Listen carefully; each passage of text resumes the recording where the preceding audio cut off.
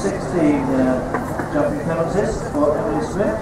So now down to Henry. Henry Norton, uh, Henry riding PA Charlie, Antonio, last to go for the South Wold North France.